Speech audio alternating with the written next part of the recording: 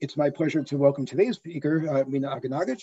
Her title is Knot Categorification from Mirror Symmetry via String Theory.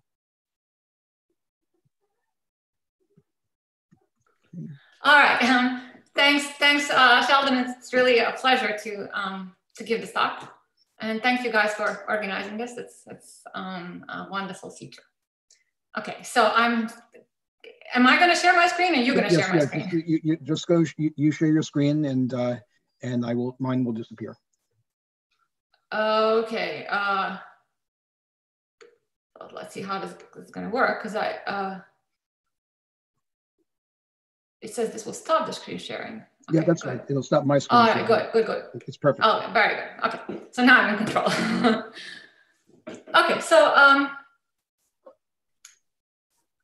you just see how good. So um, I'll describe in this talk uh, two geometric approaches to knot categorification problem, which come out of string theory.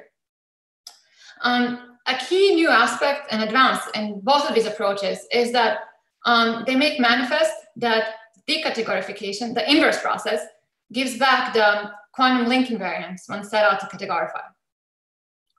The relation between the two approaches um, is a variant of two-dimensional mirror symmetry. And as you'll see, mirror symmetry and the tools developed by many people, including many in this audience, to study it, play a, a central role. Now, um, the elements of the two approaches I'll tell you about have been discovered by mathematicians earlier. Um, there are many, many works, uh, notably by Kamnitzer and Cautis, Seidel and Smith and others. But um, physics and many techniques that we'll be using have also been discovered by mathematicians, but physics helps put them together in just the right way. So there's a third approach with a, same string theory origin due to Witten. So um, what will emerge from this story is a unified framework for knot categorification. Um, so the story that I'll tell you uh, is subject to three papers, one of which uh, appeared um, and, and two that are coming up um, um by this fall, and also a series of lecture, lectures at UCLA, which um, explain it in more detail than I'll have time today. Okay, so to begin with, um, let's recall some well-known aspects of knot invariance. A quantum invariant of a link depends on the choice of a Lie algebra, um, and a collection of representations that color its friends. Um, to the link, in addition to the choice of the Lie algebra and representations, um, the, the invariant you get depends on one more parameter, uh, which we'll call Q uh, or, or kappa. So um, Edward Witten explained in 89 that um, this quantum link invariant comes from Chern-Simons theory, with um, gauge group whose uh, Lie algebra is, is G and uh, effective Chern-Simons level kappa. Now, in that same paper, he explained that underlying Chern-Simons theory is um, a two-dimensional conformal field theory associated to G and kappa. And in fact, for us, um, it will be this. Um, we'll use that as a starting point rather than Chern-Simons theory.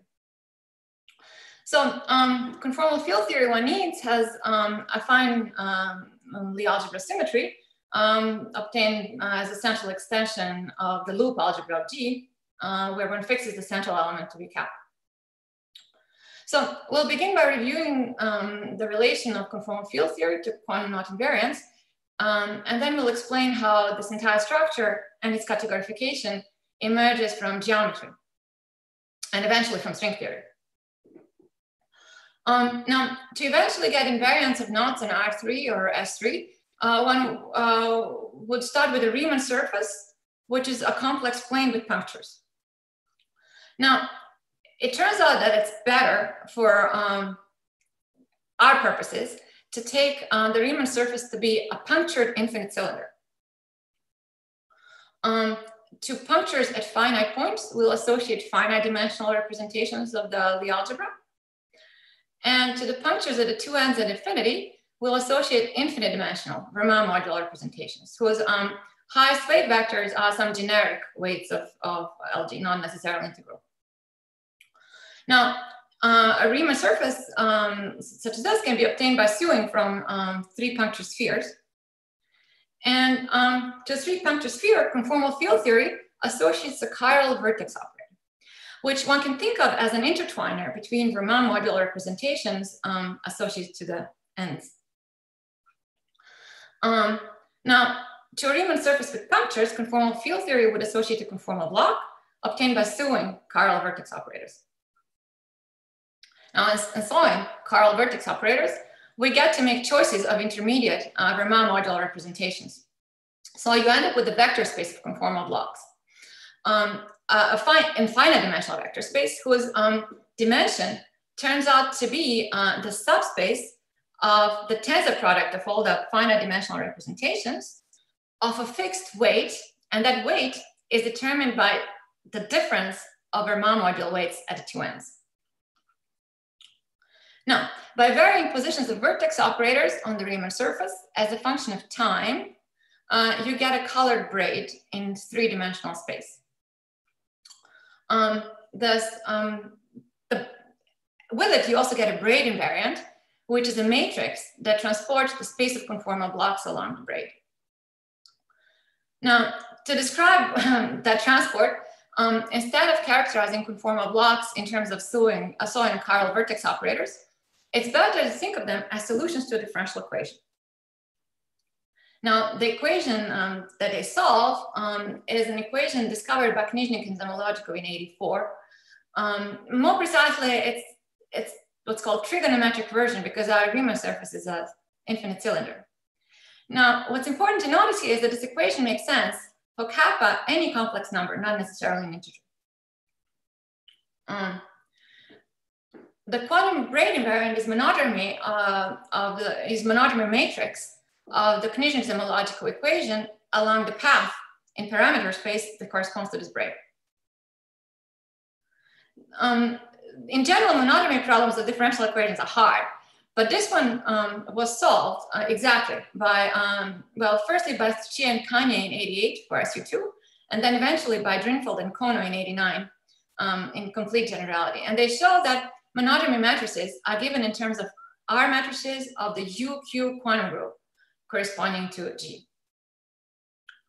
Um, the action of monodromies um, makes conformal blocks into um, a module on which the quantum group acts.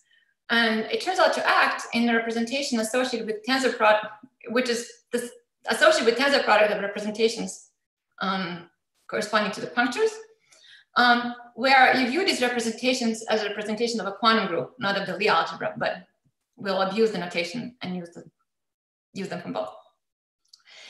Moreover, um, monodromy is irre acts irreducibly, is in general a block diagonal matrix. So it acts irreducibly only in the subspace of a fixed weight.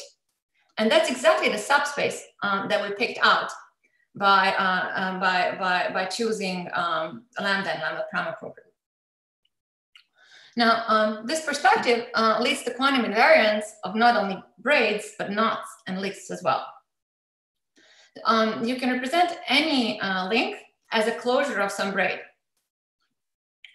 Um, the corresponding uh, link invariant is uh, the matrix element of the braiding matrix taken between pairs of conformal blocks associated to the top and the bottom of this picture.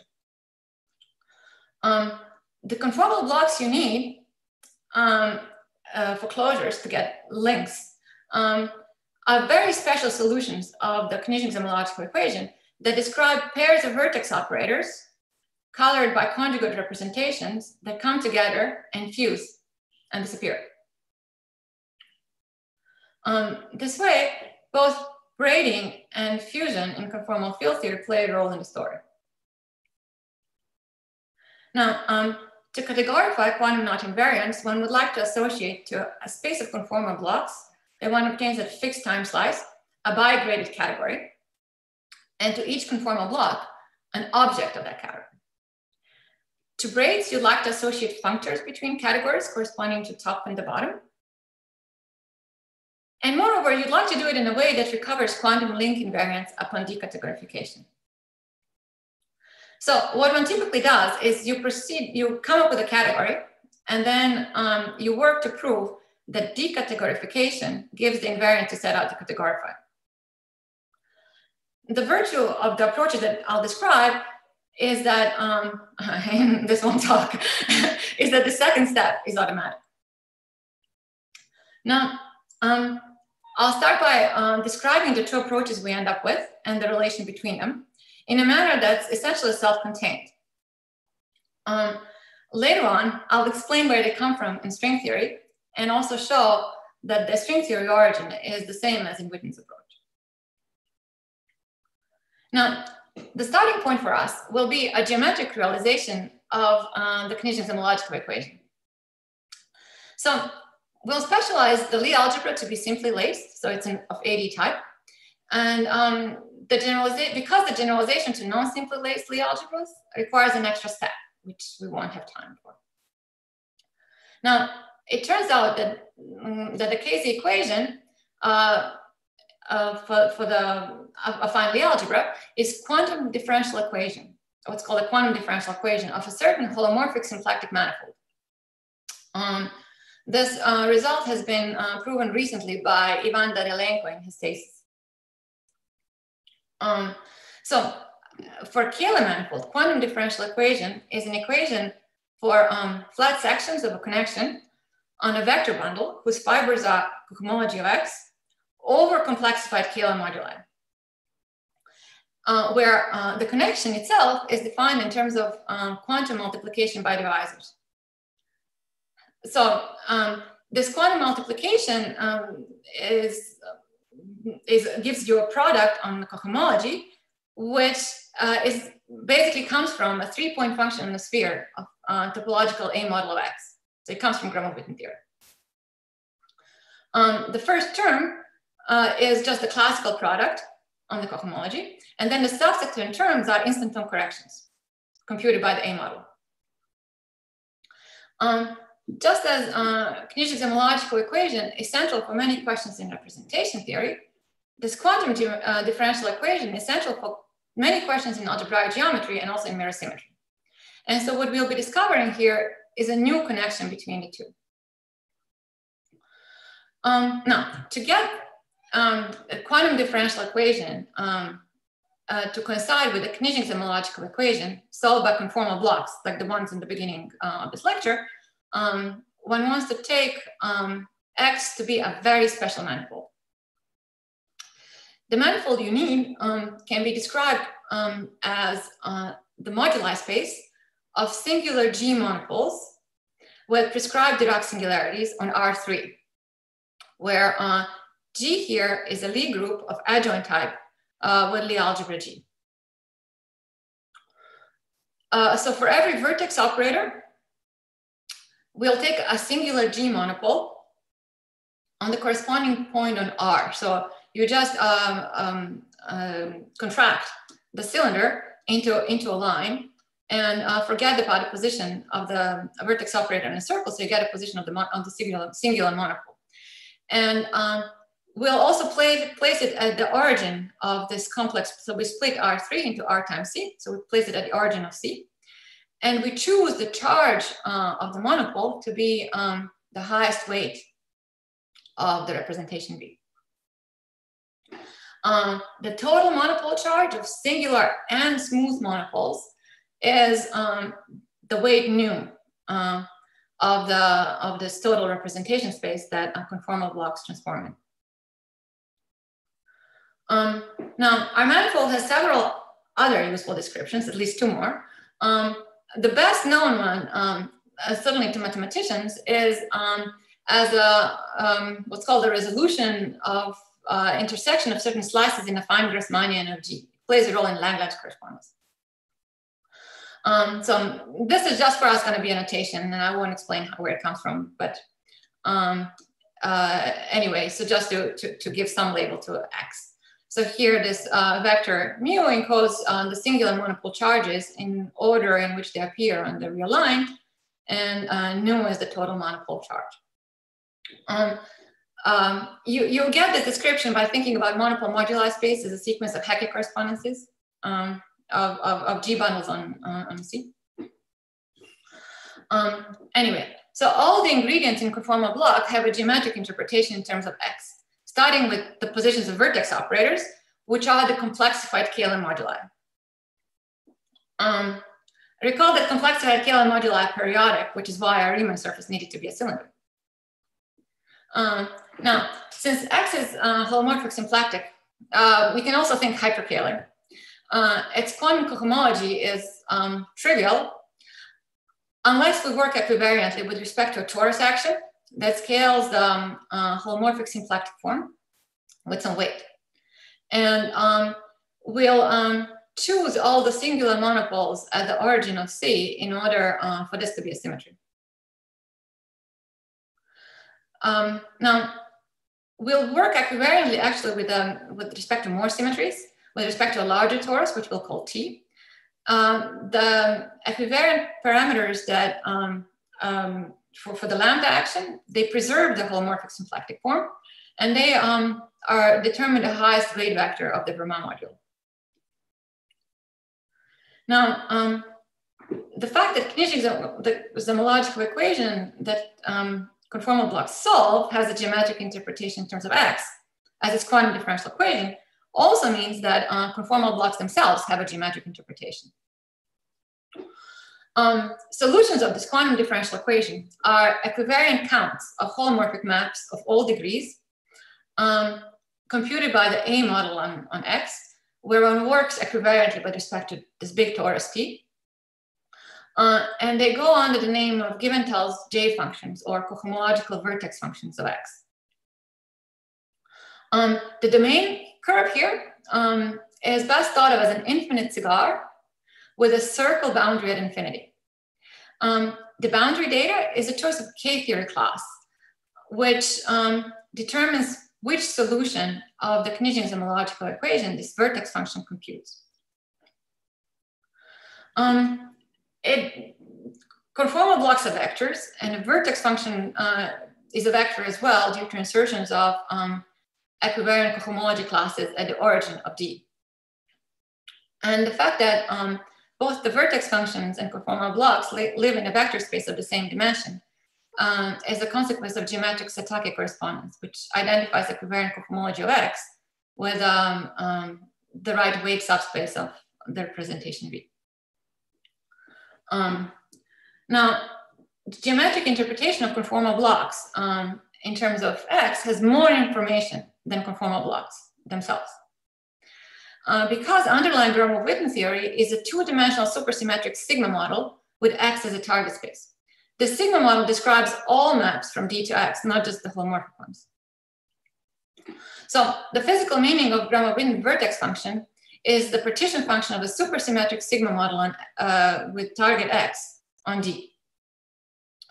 Um, so in the interior of this infinitely long cigar, you have A-type twist, and at the boundary at infinity, one, one places a B-type boundary condition. Now, um, boundary conditions form a category, and the category of boundary conditions for our sigma model on X, uh, which preserve B-type supersymmetry, and where um, um, working equivariantly with respect to T is um, the derived category of T equivariant coherent sheaves on X. Now, if we pick as a boundary condition an object or a brane uh, of the derived category, uh, we get the vertex function as, its, as, um, as the partition function. Um, a priori, it depends on the choice of the brane only through its charge, only through its K-theory class. Um, now, since Knizhnik-Zamolodchikov equation is the quantum differential equation um, of X, the action of the quantum group on the space of conformal blocks uh, has a geometric interpretation as the monodromy of the quantum differential equation of x along the uh, path and its Kähler moduli corresponding to the break. Um, a priori, the action of modern monodromy um, uh, comes from the action on the K-theory class of the brane at the boundary of infinity. So only knows about the charge. So uh, you get the action of the UQ quantum group on equivariant K-theory X. However, the sigma model needs an actual brane to serve as a boundary condition. So the action of monodromy has to come from the action on the brane itself. Um, now, along the path in Kähler moduli, the derived category stays the same of, of coherent sheaves, stays the same. So um, um, braid group that acts uh, on the brane, on the branes uh, like this, is an auto-equivalence of the derived category. now, from the sigma model perspective, the monodromy problem um, arises very concretely as follows. Uh, by letting uh, the moduli of the theory vary according to the braid in the neighborhood of the boundary at infinity. So if you think of a tip of the cigar being at s goes to infinity, the boundary at s is equal to zero, you can take the moduli to vary over, over, over some short interval. Um, the directional um, along the cigar coincides with time along the break. Now, um, by asking how monodromy acts on the quantum state produced um, by the path integral over the cigar at s is equal to one, one gets a Berry phase type problem. Um, the exact kind of problem that was studied 20 years ago by Cecotti and Vafa. The solution to this problem is a linear map on a equivariant K-theory, the monodromy of the quantum differential equation, which acts on the K-theory class of the brane. Uh, so Mina, we've been accumulating some questions and I'm wondering. Oh, I'm not seeing them. I think what, what happened with the screen sharing is I'm actually not seeing any questions at all.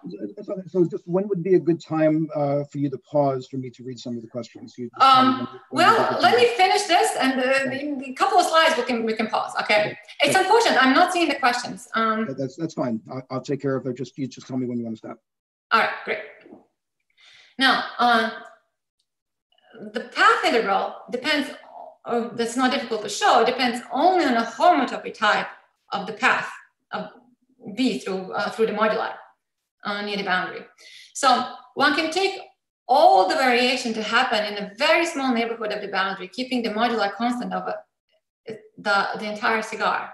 So this produces a new boundary condition, um, so a new brane, which is the image of the original one under this derived equivalence function.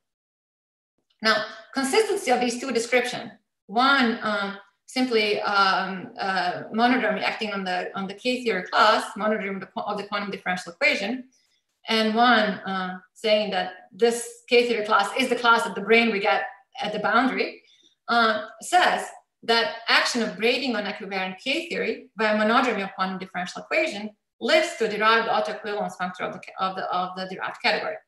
Now, this is actually a physics reinterpretation of an extremely hard theorem um, hard to prove theorem by Bezrukavnikov and Okounkov, which uses methods in characteristic P. Um, now we can go further and uh, extract monodromy matrix elements, ask for just monodromy matrix elements themselves. Uh, to do that, um, you cut the infinite cigar um, near its boundary, say um, at s is equal to one, and insert a complete set of branes. Now, Path integral the sigma model with a pair of B-type branes in the boundary, where time runs along the annulus, computes monodromy matrix element um, uh, of, the, of the braiding matrix, or um, monodromy of the quantum differential equation matrix, um, where um, which matrix element? Well, that one picked out by the branes. The same path integral can be reinterpreted in a different way by thinking of time that runs around, around the cigar. And thinking about it that way, I compute the index of the supercharged Q preserved by the two branes. Now, cohomology of the supercharged Q is per definition the graded Hom space between the branes computed in the derived category. Um, so so, so far we understood that derived category of T equivalent coherent sheaves on X manifestly categorifies the braiding matrix elements. And then the next natural question um, is to ask, um, well, you should naturally expect that it should also categorify uh, quantum uh, link invariants because they can also be expressed as um, matrix elements of the braiding matrix between pairs of conformal blocks. All right, so now it's a good time to stop. So tell me what the questions are. It's tragic that I don't see them. That, that's fine. So the um, the first question is to ask if we can interpret the braiding and fusion operations of the Verma modules in terms of the tensor excision property of factorization homology for a coefficient system on the module category of UQ of the Langlands dual, perhaps by understanding the embedded colored links as a certain So I explain, I explain how we understood braiding right now, and I'm going to explain how we'll understand fusion. Okay. okay. And I think that this understanding is new. So, um, well, um, you'll tell me. okay. okay. Uh, next question is, is lambda a lattice inside a maximal torus? Uh, uh, the, the, uh, uh, lambda, lambda is a lattice inside the maximal torus of G. That's right. Okay. The and, big lambda. Okay. And if this is an A twist, so Gromov-Witten theory, why are we using the boundary conditions for the B twist?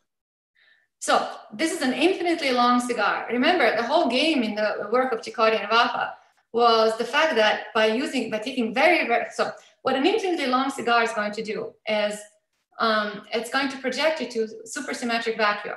And a supersymmetric vacuum is consistent with any supersymmetry bound preserving boundary condition. So even if you chose an A twist in the interior, a B twist at the boundary is perfectly consistent with it. Okay, so. Thanks. we had uh, one more question in the chat. Is, is the correspondence between vertex operators and monopoles in R3 coming from a certain setup in string theory?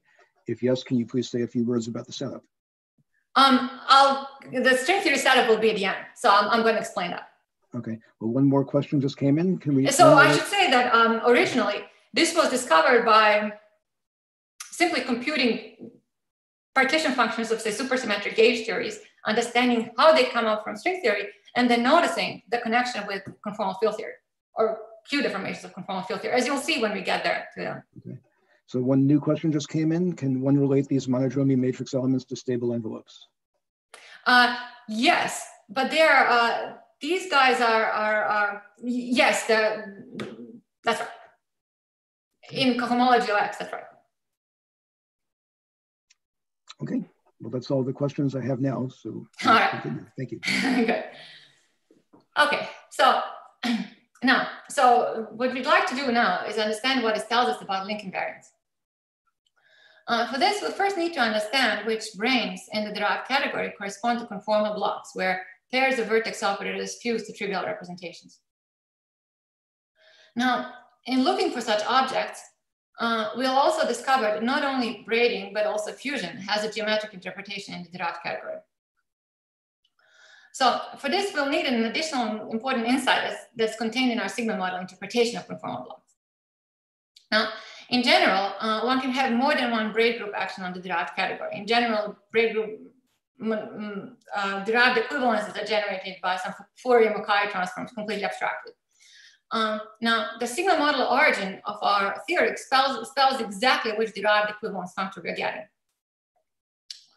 Um, so by, this, by the origin in the sigma model 2x, the functor comes from variation of stability condition on the derived category with respect to central charge function which is a very close cousin of the vertex function that computes conformal blocks. Uh, the vertex function generalizes the central charge in two different ways.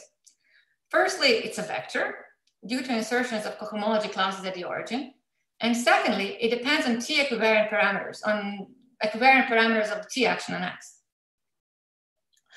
We can undo the first generalization by simply placing no insertions at the origin and we'll get a scalar analog of the vertex function, which uh, we'll call the equivariant central charge. So it's a map from equivariant K0 of X to C. The central charge function that provides the stability condition on the derived category uh, is obtained from this one by setting the T equivariant parameters to zero. So in particular, it's computed by ordinary Gromov-Witten theory. Uh, the stability condition derived, uh, defined with respect to this, this, central charge is known as the pi stability condition discovered by Douglas. Now, while it's computed by Gromov-Witten theory, we also know that the x being uh, holomorphic symplectic or hyperkähler if it's smooth, also receives no quantum correction. So in fact, the z naught, the central, the pi stability central charge, which usually um, receives terrible instanton corrections and it's very hard to control, is in fact a completely classical object. And if I had time, I would have written down the formula for it. So the setting uh, provides uh, a, source of examples for Bridgeland stability conditions, which should be wonderful to study.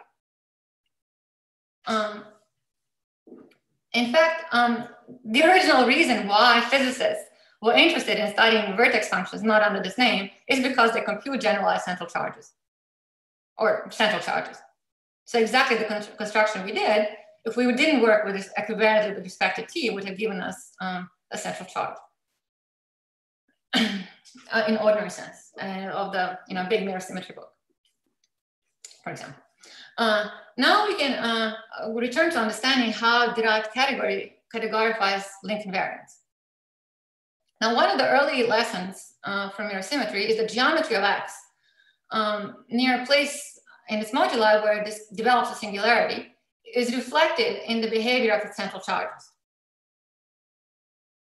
In fact, that, that's how we study mirrors, the A model, right? Um, okay. So for us, central charges are close cousins of conformal blocks. So behavior of conformal blocks must be reflected in the geometry of X. Now, as a pair of vertex operators approach each other, one gets a natural basis of conformal blocks obtained by slowing Carl vertex operators as follows. Uh, that's called the fusion basis. Now, possible choices of fusion products are label, labeled by representations that occur in the tensor product um, of uh, those associated with the vert vertex operators. Now, a basic result in conformal field theory is that fusion diagonalizes braiding. So in the fusion basis, braiding diagonally, as you can see from this picture, um, unlike in the basis that we started with in, in the beginning of the talk. Now, corresponding to pair of vertex operators that come together is a limit in Kähler moduli of X in which it develops a singularity. And one can show that um, the reason it develops a singularity is that there's, there's a whole collection of vanishing cycles which are labeled by representations that occur in the tensor product.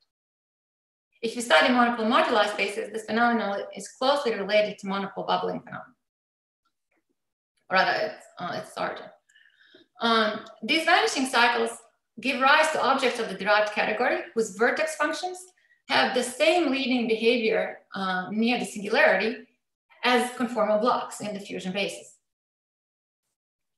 Now, conformal blocks, uh, well, every brane will give you a solution of Knizhnik-Zamolodchikov equation in conformal block. You can't get any conformal block from a brane. So conformal blocks, which diagonalize the action of braiding, do not in general come from actual objects of the derived category. Eigensheafs of braiding on which the braiding functor acts just by uh, cohomological and equivariant degree shifts are rare. It's also one of the lessons of mirror symmetry. Um, so instead, uh, what you get is a filtration on the derived category where the terms in the filtration are labeled by distinct representations in the tensor product. Um, the branes in the mth uh, term in the filtration come as close as possible to being eigensheafs. They have central charges um, that vanish at least as fast as the dimension of the corresponding vanishing cycle. But in general, they contain terms that vanish faster. And uh, their order of vanishing increases as m decreases. So um, now braiding, which exchanges a pair of vertex operators, corresponds to a generalized flop in the geometry. In the simplest case, if we studied A1 with spin one half representations, we would have gotten an ordinary flop that's familiar. But generally, we'll get generalized flops. The flop is generalized because more than one cycle vanishes. And in general, the cycle that vanish are not spherical. Now, by analyticity of the central charge function, one gets actually a pair of filtrations one uh, on each side of the flop. Uh, the braiding preserves them because it has the effect of mixing up objects of a given order of vanishing of central charge with those that vanish faster and belong to lower orders of defiltration. This is again informed by mirror symmetry. Now, uh, okay. Now, uh, on the quotient, um, sorry, Ah, okay, there's a slide missing. On the quotient categories, um, the braiding functor acts um, at most by degree shifts. So in the quotient category, you treat as zero all the objects that come from, um, from the denominator. Um, uh, so because the braiding preserves the filtration on these quotient categories, uh, subcategories, it acts at most by degree shifts. And these degree shifts can be read off from equivariant central charge. Um, these equivariant central charges are these scalar cousins of conformal blocks. So you can read it off explicitly, uh, where, D, uh, where D is the dimension of the vanishing cycle, and, uh, and then there's a term that keeps track of the equivariant central charge. Um, uh, the, the, equivariant, the equivariant degree shift. Okay, so you can actually get explicit predictions for what uh, what derived equivalences do, and in the the there are not that many examples where this is actually understood. For example, for cotangent bundles of Grassmannians, and it reproduces exactly what mathematicians have discovered by much more difficult methods. Anyway, um, so the existence of this filtration is the geometric and um, uh, categorical origin, turning things around, of the statement in conformal field theory, the fusion diagonalizes braiding. Now, derived equivalences of this type uh, um, have been um, thought about by uh, Rouquier and, and Chuang, and they call them perverse equivalences. So this gives a source of examples of perverse equivalences. perverse is the name, I guess, which come uh, from geometry and from physics. Okay, so now uh, we can characterize branes whose um, vertex functions are conformal blocks uh, that we need to, to get link invariants, um, to cap off the braids. So uh, a cap colored by representation V comes from um, a pair of vertex operators colored by conjugate representations that approach each other and fuse to identity. Once they fuse to identity, uh, they can just disappear. Um, now, objects of branes of the derived category that correspond to such conformal blocks belong to the very lowest term in the filtration. Um, so they're necessarily, they have nothing to mix up with. So they're necessarily eigensheaves of the braiding function. So the braiding acts on them at most by degree shift. Now, even so, uh, they're very, very special ones for the same reason that identity representation is a special representation in representation theory. Now, associated to the identity representation in tensor product, uh, where uh, we take V's to be minuscule representations. This constraint to minuscule representation is for X to be smooth, as opposed to a manifold with singularities that you can't resolve. So when V is a minuscule representation, uh, the corresponding vanishing cycle, uh, corresponding to the trivial representation in tensor product, is known as the minuscule Grassmannian um, of uh, the maximal parabolic subgroup of G corresponding to V.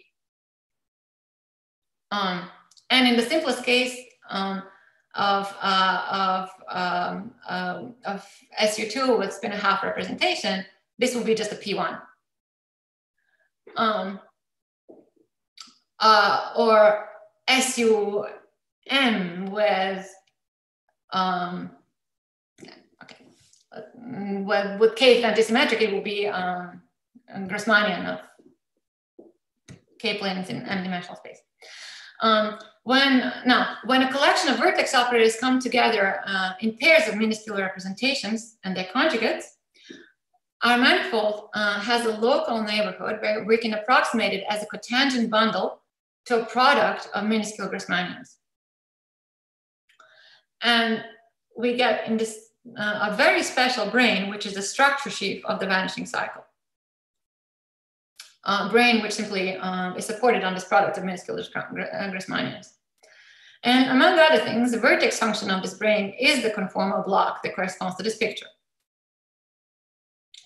Now for these branes, uh, the bigraded homes uh, with um, action, any action of braiding automatically um, um, um, give braid, invariance whose Euler characteristic is the link invariant. Okay, so they automatically categorify the link invariants. And they are automatically braid invariants. What's not automatic is that they're also link invariants so that the homology group themselves are link invariants. Now, using very special properties of these branes, um, analogous to the fact that identity representation is a very, very special representation, one can show that uh, these homology, certainly at the physics level, it's a, it's a, it's a proof, um, uh, and it's a sketch of a proof in math, that these homology groups uh, categorify the corresponding uh, um, quantum link invariant. Okay, so the, the, the homology groups themselves are link invariants. Now, an elementary uh, but new consequence of this approach is a geometric explanation for uh, mirror symmetry of, uh, of, Lincoln, of quantum group link invariants. So this mirror symmetry statement is that an invariance of a link and its mirror image are related as follows. So if you uh, reflect the link, you also change Q to Q inverse and the invariant stays the same. That's a well-known fact from transition theory. Now, in this approach, um, this mirror symmetry of links is a consequence of Serre duality, which is um, of the, in the derived category, which is isomorphism of Q cohomology, which brings F and G at the two ends, and Q cohomology obtained by reflection that exchanges the, the endpoints. And here uh, you get a shift of the um, equivariant degree, which, uh, sorry, first, you get no tensoring with a canonical uh, class of X because, uh, because uh, X is uh, hyperkähler, so canonical bundle is trivial. However, you do get a shift um, of the equivariant degree because um, while um, the canonical bundle of X is, a line bundle of X is trivial, uh, its unique holomorphic section is not invariant under, under, under the torus section. Okay, now, um, so starting with we've, seven. We've had a few questions. We've had a few questions come in, so maybe you could pick a uh, time to break and take questions. Give me just a second. You, so, well, I, I, just need uh, one, one, one minute, and so so starting with Serre duality, uh, taking all the characteristics of both sides and using the definitions, one finds indeed um, that uh, the corresponding um, link invariant satisfy mirror symmetry. Now, the fact that Serre duality implies mirror symmetry is not an accident because the direction along the interval, which gets reflected um, in Serre duality, is exactly the, the, direction along the link that gets reflected to get the mirror link. So it's built in, uh, in there in, this, in the alpha. Okay, now what were the questions?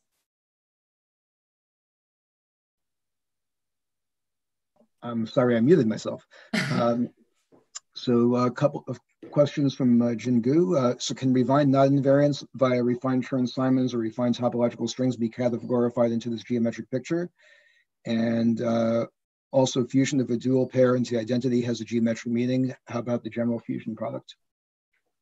Uh, sorry, uh, no, all the fusion products, questions. sorry, all the fusion products have a meaning. In terms of so um, the, the manifold develops singularities, and these singularities um, give rise to filtration on the derived category, so that somehow the category breaks up.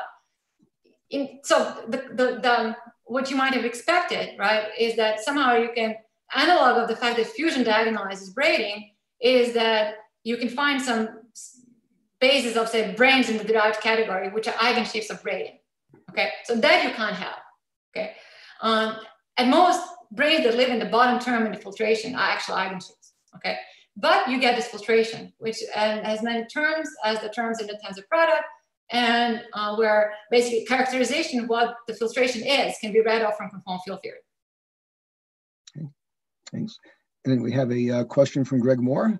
Um, that you, uh, when you claim that the Hom spaces are uh, invariant, knot invariants, uh, do you prove this by checking uh, invariance uh, up to quasi-isomorphism under Reidemeister moves? Yeah, so you can argue that it satisfies the Reidemeister moves. And uh, the, the, so it's not a math proof, um, but it's a physics proof. in the sense that um, um, you one need several steps. So firstly, uh, you use crucially um, the existence of these filtrations where um, the properties of the branes and the fact that um, well, it's a, it's a bit of a longer story, which is described either in the first paper that I wrote or in my first lecture at UCLA. At the very end of it, it, it, it gives a sketch of the argument, a shorter one. Okay. Um, but yeah, you can show that it, that it satisfies Reidemeister moves. And um, the, the tight link between this perverse filtration and conformal field theory um, tells you why you should expect um, that the right and Reidemeister moves be satisfied.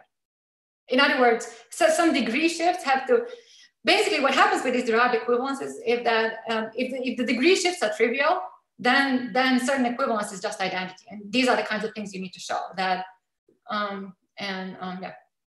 Okay. Yeah. Uh, thank you. That's all the questions we have for now. All right. Now, mirror symmetry gives us a second uh, description of homological knot invariants. And while I'm separating the two stories into two separate ones, they were really discovered in parallel. I, one wouldn't have discovered one without the other. But anyway, the second description is based on the equivariant mirror X. The equivariant mirror is a Landau-Ginzburg theory with target Y and potential W. Now, the ordinary non-equivariant mirror X um, would be, um, because X is a hyperkähler manifold whenever it's smooth, its ordinary non-equivariant mirror would be another hyperkähler manifold, which is to first approximation, though not exactly, hyperkähler rotation of X. Now, as X has only Kähler but no complex moduli due to T equivariance being posed, Y has only complex but no Kähler moduli turned on. Now, a description based on Y would give symplectic geometry approach to the knot categorification problem, uh, where the derived category of coherent sheaves is replaced by its homological mirror, an appropriate category of Lagrangian rings on Y. Now, at the moment, one knows how to obtain from Y only a homological link, symplectic homological link invariants, which capture the theory that Q is equal to one, such as those in the works of Seidel and Smith for quantum homology. Um, now, there is an alternative symplectic geometry or uh, based approach where the dependence of the theory on Q, instead of being a mystery, is manifest. Now, the key fact is since we're working equivariantly with respect to um, this um, uh, C-star action that scales the holomorphic symplectic form, all the relevant action um, about the geometry of X comes from the fixed locus of the C-star action. Uh, which is a holomorphic Lagrangian in X, we started with, uh, which I'll call its core. Now, the terrible notation here, which does not work in talks at all, is that we have two things which we call X. So we'll call the original X the big X and the new X, its core, the small X. okay. In particular, it's half the dimension. The small X is the half the dimension of the big one. So it's justified. Now, viewing the big X as the moduli space of monopoles on R3 with this kind of split, its core, the small x, is a locus in the monopole moduli space where all the monopoles, both singular ones and, and the smooth ones, are the origin in C and it points on R. Now, instead of working with the big X and its mirror, the big Y, one can work with the core X, um, the small x and the small y. Um, um, the, the small y being the core of the mirror. Um, so working, because working equivariantly with respect to this uh, C star action on X, the bottom row has as much information about the geometry as the top. You lose nothing. Now, while the small x embeds into the big X as a holomorphic Lagrangian submanifold um, of half its dimension, um, the uh, little y fibers, sorry, the big Y fibers over the little y with holomorphic Lagrangian C star fibers. Now, for example, uh, if we take uh, the big X to be an AN surface, uh, its core um, uh, small x uh, looks like a, um, a sausage like this. And um, its mirror y is a C star fibration over the big Y is a C star fibration over the small y, where the small y looks like that. Okay. And the small y is mirrored to the small x. So these two things are mirrored to each other. Now, uh, in this case, uh, the small y is a single copy of the surface from the beginning of the talk, where uh, with marked points where the C star fibration degenerates. So mirror to vanishing P1 in X, remember X is this um, kind of sausage-like thing, mirror to vanishing P1 in X is a Lagrangian in the small y that begins and ends at the punctures. And uh, they are projection of Lagrangian spheres in the big Y.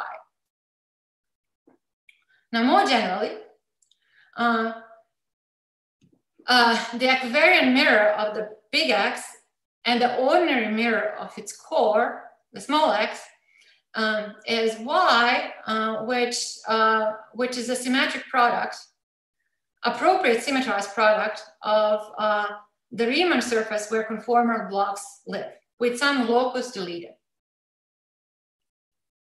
Now, projection to common SYZ base of the X and the Y is the same, the small x and the small y, is the same as projecting the big X, the moduli space of singular monopoles in R3, down to, um, down to just R. Okay. Uh, so you have just points moving along the, the, the line with some um, special points where the singular monopoles are. Now, including the T equivariant action uh, um, on the big X and the small x corresponds to adding uh, to the sigma model on the small y a specific potential, which is a multi-value holomorphic function on y. Um, the potential, which is a multi-value holomorphic function on y, is a sum of three types of terms, uh, all coming from um, equivariant actions. A term that comes from the, um, the action that preserves the holomorphic form and that uh, told us what the weight of this Verma module is at the, at the origin of the, um, at the zero at infinity. And two, which come from uh, the C star action that scales the holomorphic symplectic form. Now, mirror predicts that conformal blocks uh, of the affine Lie algebra, um, the ones we started to talk with, um, are partition functions um, of the B twisted theory. Uh, I don't know why the notation here changed. It shouldn't have. uh, partition functions of the B twisted theory on the long cigar with A-type boundary conditions with the B twist in the interior and A-type boundary condition at infinity. An A-type boundary condition is Lagrangian in Y. Now, such amplitudes uh, have the following form. So the uh, integrals uh, of um, uh, over the Lagrangian of the holomorphic form, the top holomorphic form in Y, the Landau-Ginzburg potential enters like follows, and then in general, the insertions of, of some chiral um, uh, ring operators for insertions at the origin of the cigar. Now, what we are discovering here is from, from mirror symmetry is integral formulations of uh, conformal blocks of the, of the affine Lie algebra, which goes back to works of Feigin and Frenkel in the 80s, and also Schechtman and Varchenko, and is very well known to mathematicians. Um, now, there is a reconstruction theory due to Givental and Telemann, which says that starting with genus zero data, or more precisely with solution of the quantum differential equation, one gets to reconstruct all genus topological string amplitudes of any semi-simple two-dimensional field theory. And this one certainly is. So a B-twisted Landau-Ginzburg model um, uh, on, uh, on um, we have um, uh, with, um, and the A twisted sigma model on X working equivalently with respect to T are expected to be equivalent to all genus. So you get an all genus equivalence of topological string amplitudes of a, of a manifold, which is the big X, and a manifold half its dimension. Now, um, corresponding to a solution of, of the KZ equation is an A brane at the boundary of at infinity. This brane is an object uh, of the derived Fukaya-Seidel category of A branes and Y with potential W. Now, the objects uh, of the derived category are graded Lagrangian, where the graded grading is by the Maslov grading and additional gradings that come from the non-single value potential. Now, these additional grades can be derived, defined uh, in the same way we define the Maslov or cohomological grading by lifting the phase of uh, this generalized holomorphic form to a real valued function on the Lagrangian. Now, in general, uh, to formulate a category of A-branes on a non-compact manifold such as Y requires work to cure non-compactness.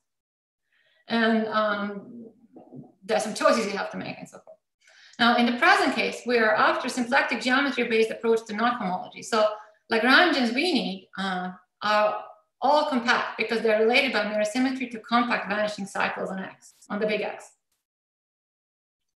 So for such Lagrangians, there is no issue with non-compactness of Y, and the superpotential W wouldn't have played any role either were it single So for us, W isn't single valued, and its main effect is to provide additional gradings on the um, on, uh, on Floer cohomology groups. Now, um, we're not quite done. So mirror symmetry helps us understand exactly which questions we need to ask to recover homological knot invariants from Y. Okay. Um, now, since Y, the small y, is an ordinary mirror of the small x. Um, to understand how to recover homological knot invariants from the small y, one should first understand how to recover homological knot invariants from small x instead from the big X. Now, every B-type brane on the big X, which is relevant for knot theory, comes from a a, a B-type brane on the small x by a push-forward functor. So this functor simply interprets a brane on the small x um, as a brane on the big X. um, now, this functor has an adjoint that goes the other way. That takes a, um, a sheaf on the big X to a sheaf on the small x by tensoring it with a structure sheaf of the small x and restricting to the small x.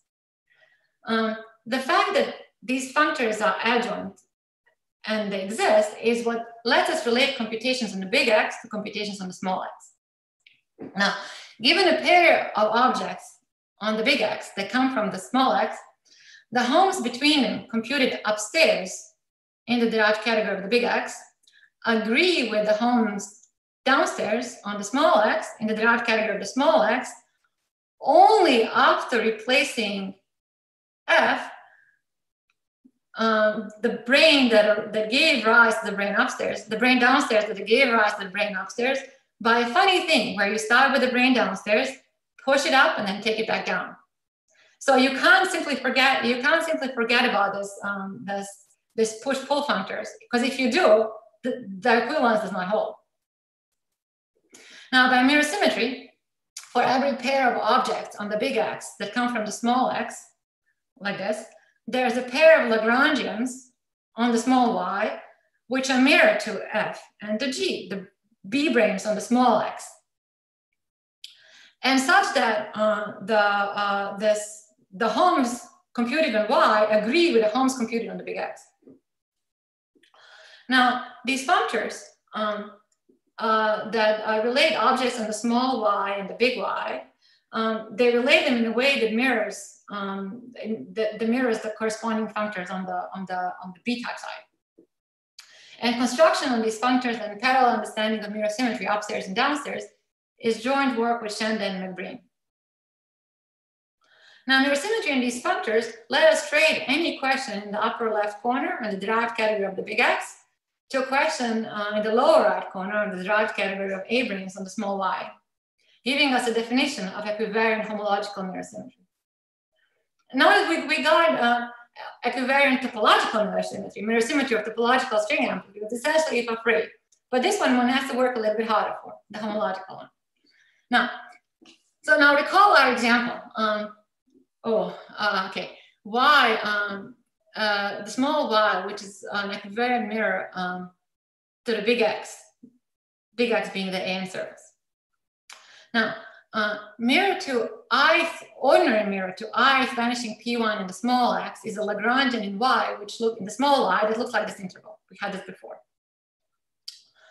Um, now, mirror of the big X is y, which would be what's called a multiplicative AN surface with a certain potential, which we don't need.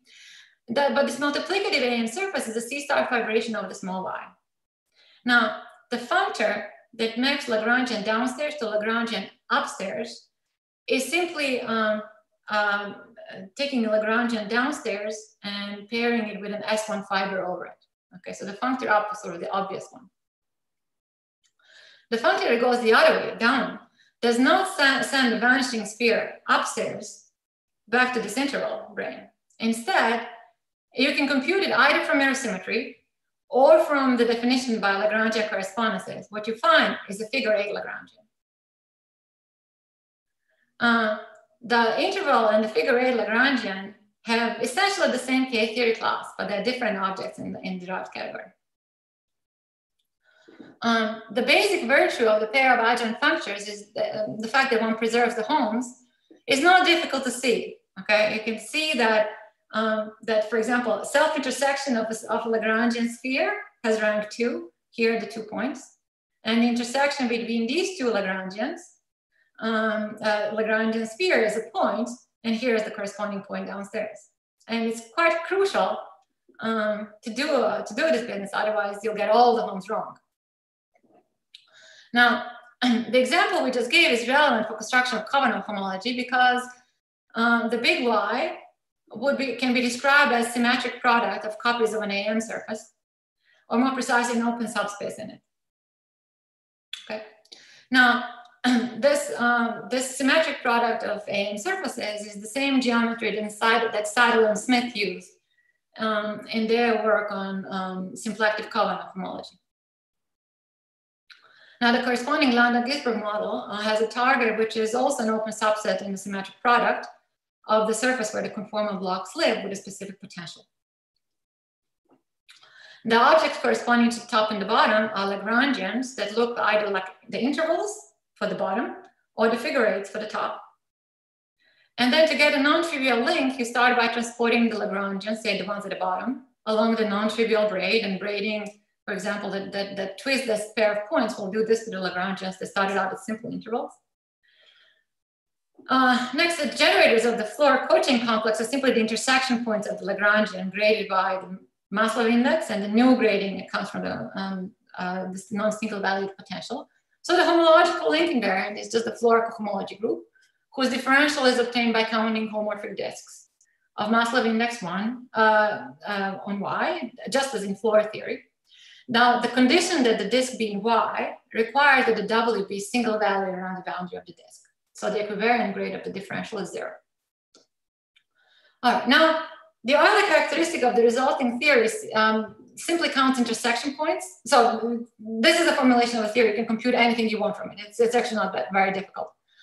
Um, but um, uh, the Euler characteristic simply keeps track of intersection points um, is a sum over the intersection points, keeping track of the grading.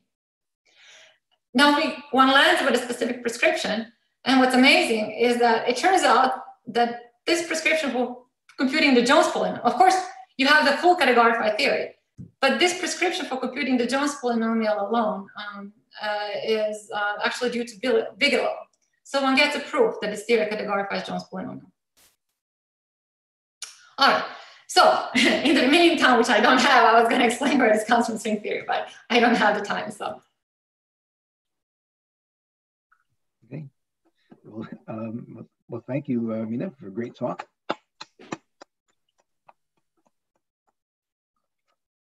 Okay, uh, we can now um, switch to uh, questions and uh, and answers. You can raise your hand in the participants window.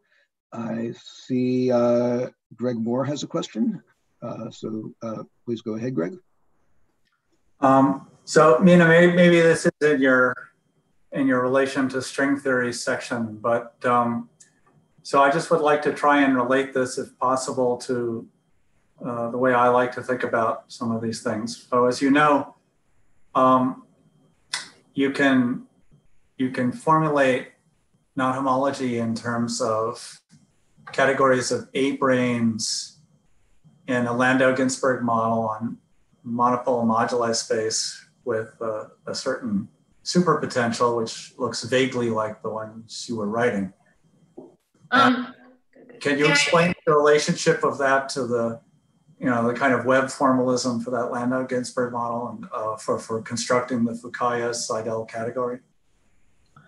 Okay, so um, any um, naive approach to getting uh, recovering Khovanov homology from uh, the lambda is there were okay well, where greg is getting at uh, is that um, there there is a very similar potential that um, that uh, davide and edward uh, witten um, davide gaiotto and edward witten uh, wrote in their um, in a beautiful 2011 paper and uh, and then um, there's a, a, big beautiful machinery for, uh, which involves a Landau-Ginzburg model with a potential.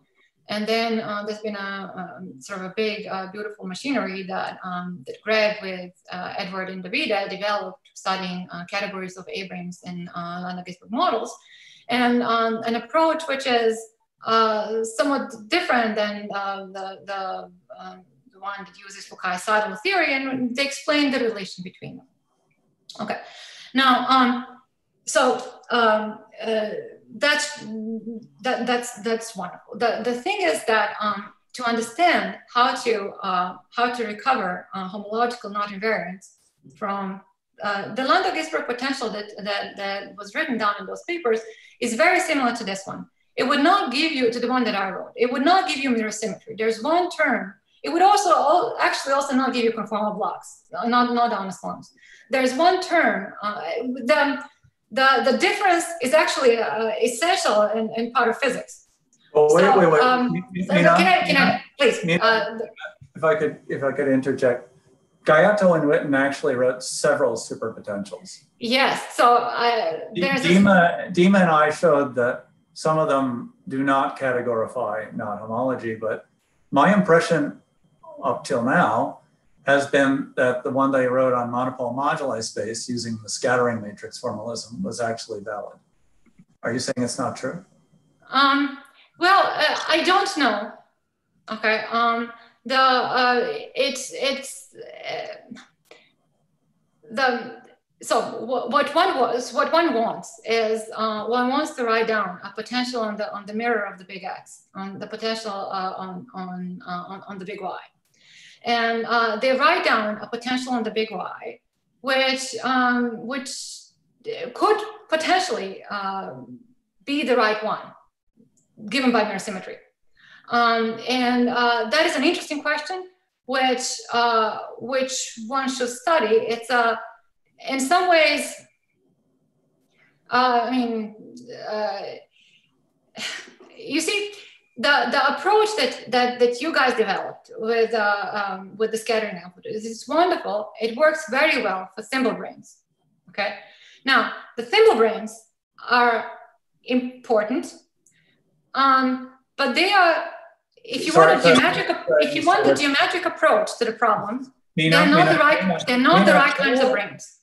Mina, Um, Mina, slow down. Mina, it works very well for thimble branes. Is that what you said? So it's it's based on the the, the A branes, which are thimbles, right? Um, uh, Well, when- they- uh, so, the- um, let me let me say it differently, okay? What this story develops that I'm telling you about is a geometric approach to the problem. Okay. Um, now, once one has this geometric approach, there is going to be a different one, which is algebraic. This is actually well known in the, you know, there are many people who have thought about this. Um, and many, many people, this is a very, very old story. Okay. Um, so with the approaches that I told you about, develop geometric approach. Once you have that, you will ask the next question. Can we get an algebraic approach? An algebra, because basically um, both the derived category of coherent sheaves and uh, the, the, the, the, category of, of, of A-branes uh, in this Landau-Ginzburg model um, that, I, that I wrote down um, are actually going to be uh, describable as derived categories of modules of some algebra, where you lose the geometry and get just representation theory. Except you want to do it in that way where um, once you you first understand the geometry and then you do representation theory, which just becomes you, we put stuff on the computer and that's that's that, right? So I do think that um, that the story that the approach that you wrote with uh, with with with with um, with uh, um, uh, and Edward. that that will be part of this algebraic story. And uh, and I, I think that may not be actually too far off to just making this completely explicit. Um, but I, I think to to really the, there are many pieces of the story that are completely crucial that were not anywhere there in, in, in your works. Firstly, to describe braiding, you have to work with the derived category. You have to be able to mix up branes and anti-branes.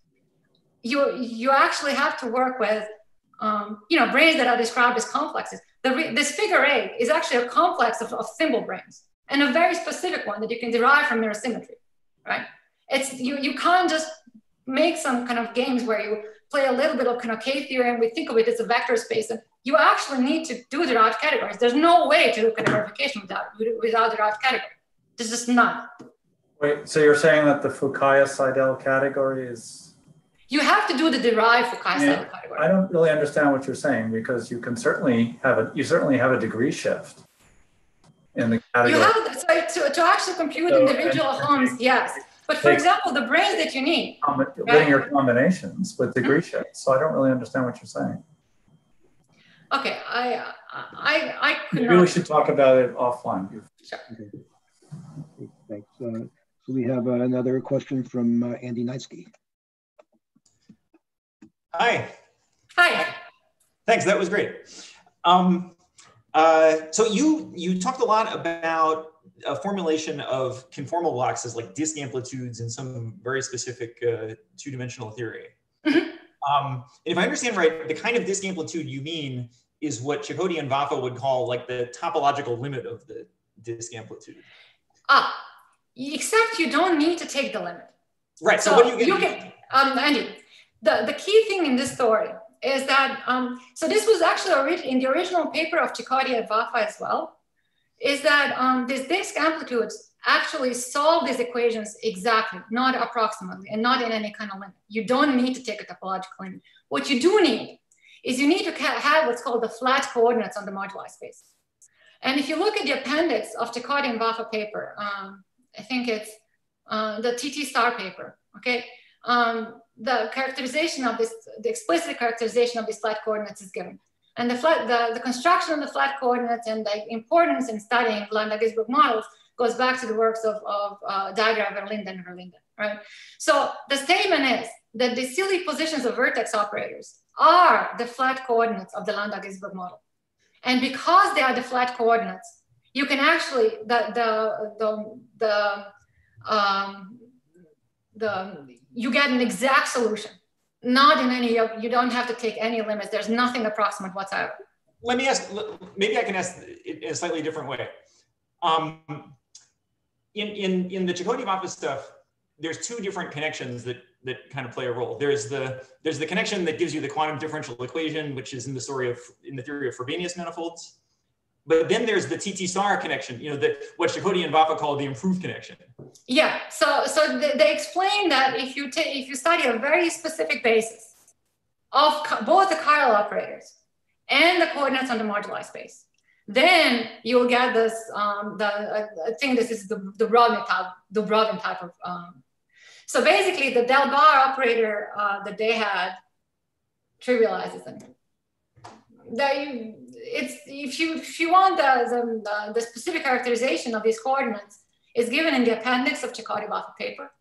Um, and uh, and it's it's quite magical because in general, if you just write on something, it's not going to solve those equations exactly, and this does. But well, okay. Uh, okay, thank you. Are there any further questions? Uh, please raise your hand in the participants menu if you have further questions.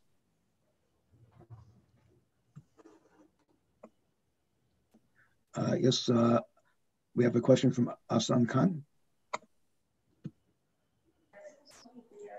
Hi, um, so I was wondering if you mentioned at some point that you only restrict to uh, branes that are images of, uh, that, that are in some sense compact in your target space.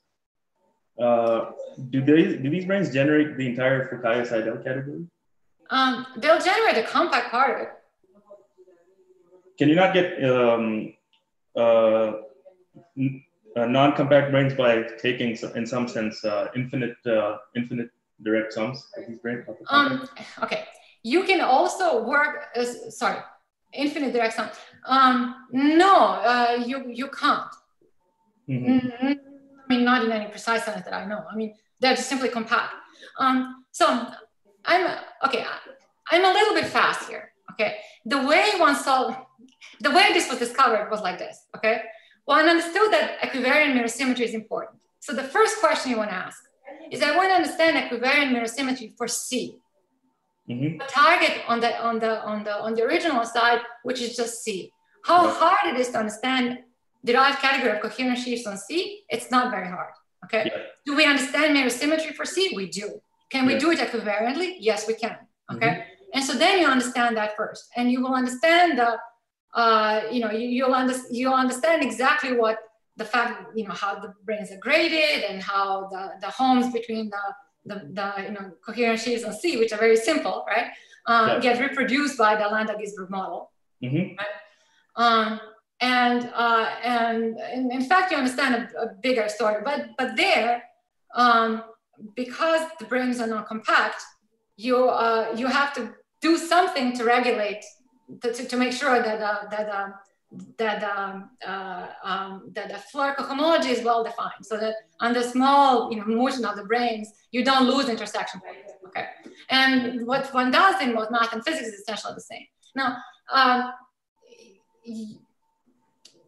and in that context, you can also understand how you know how the story that um, how the the, the, the specific uh, categories of branes that um, that um, that, uh, that Witten and, and, and Gaiotto and, and, uh, and, and Greg um, used arise and um, and so forth. Uh, and then you're on the then you, you start asking about okay in surfaces and you build up the whole thing when so it's not that one doesn't need to understand anything else. It's just that I'm, I'm trying to keep the story simple. Okay. Yeah. So in that, uh, in the in the simplified. And in fact, in, in fact, right. Uh, um, there's, there's really a beautiful story here for the AN surfaces, for example. The derived category of, of coherent sheaves is actually a category of, of modules of representations of a quiver.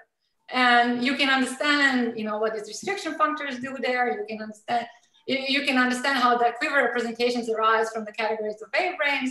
There's, you know, uh, so. Mm-hmm. Um, yeah, so uh, just a so a follow up about the simple example that you talked about with the target space being C.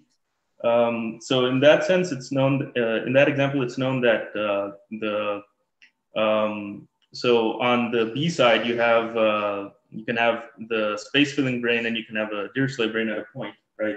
So one of them is mirrored to a compact uh, Lagrangian, and one of them is mirrored to a non-compact one. Yeah. But you can show that either one generate the category. Yeah.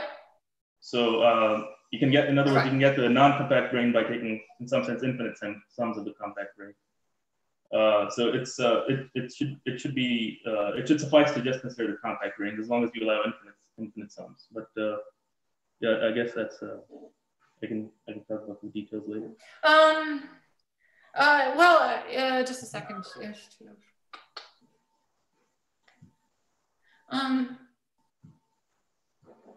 Okay, I don't remember exactly, but for example, this theory has very funny features. Mm -hmm. The mm-hmm. first time you see it, the Helms between many ordinary looking branes look in our the Helm spaces are infinite dimensional. The first thing right. you want to do is say, okay, th this is actually finite dimensional. I'll just cut it off by hand. And you can't do that because this, the, because there's a reason why the Helm spaces are infinite dimensional. They have a grading and that regulates this. So yeah. this is, uh, so I also, I do want to say something in, in um, uh, we, we the, the Landau-Ginzburg paper that um, is, is, should be out in, in months. So anyway, but um, in, in, in the, the, the, the and, and Witten paper, and also Greg paper with, with Gaiotto and Witten and, and Moore were huge influences. And I, I they, they, certainly helped tremendous amount in this work, right? Mm -hmm. um, however, they did get one thing wrong. Uh, if you want a philosophical point, but an important one. Mm -hmm. The point that, it, that, they, that, that they were making is that basically any category of branes with the right kind of things is going to work. And I don't think that that's true. Uh, I think that the story is as crisp and, and, sort of the right setting is as unique as it was in the Witten's original Chern-Simons paper. Precisely the point in his original Chern-Simons paper was that there are all these different math constructions that, that physics picks out just the right one. And I think string theory here picks out just the right one. Um, and the things that come out from string theory come out with just the right coefficients. If you ask just you know the right question, it will tell you exactly which Landau-Ginzburg potential that you get. Uh, there are two, for example, very similar looking ones, which arise from two different limits in string theory. One that Gaiotto and Witten wrote, and the one that's needed here. And this one is the right one and not that one for a good reason. For example, that one arises by a certain symmetric limit. If you start from three-dimensional gauge theory, there, there's sort of many different ways to go down to two dimensions. Um, the one that they use is sort of a symmetric limit which treats the Higgs and the Coulomb branch symmetric. And that turns out not to be the right one. The right limit is what's called, uh, I think, a Coulomb branch limit maybe, um, where it's only the Coulomb branch that's kept. Mm -hmm. Okay. Yeah, the Landau-Ginzburg description of the Higgs branch instead. The one that I wrote here. Okay, uh, we have uh, another question from Aswin Balasubramanian. Uh, uh, go ahead. Uh, yeah, am I audible? Uh, yes, yeah. Yeah, hi. hi. Uh, yeah, thanks for the talk. So my question is about the relation between the uh, quantum differential equation and the holomorphic symplectic manifold capital X. Mm -hmm. So is there such a relation for any holomorphic symplectic manifold? Like in particular, can it be singular? Does it matter if it has a resolution or not? And, and in fact, people studied it uh, generally for Kähler manifolds, right? Um, what's the, this homo the, the, the hyperkähler setting is nice because um, you know if you turn off the equivariant action, all the instantons are gone, and they're only there because the instantons are there, uh, because because you turn on the equivariant action, and it's nice because of connection with representation theory, uh, which is which is uh, which is somehow I think the origin of all the different connections of with representation theory, these geometric things, even So, but yeah, you can, make sense for any Kähler manifold. The thing is that the A model works automatically in terms of the flat coordinates. And in the Landau-Ginzburg model, you have to work to get to the flat coordinates, to find the flat coordinates. But the A model somehow, um, it's originally written in terms of flat coordinates. It's, in fact, you have to work to get any other non-flat coordinates, as Iritani explained in his papers. Okay. Are there any uh, further questions? Well, if not, let's thank Mina again for a wonderful talk. Thank you, Mina.